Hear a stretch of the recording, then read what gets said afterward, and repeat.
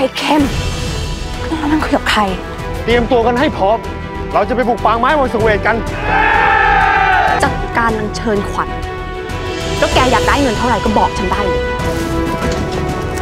แกครับ มีคนบุกรุกครับขวัญถูกราชาสืดำจับตัวไปแล้วครับ อะไรนะ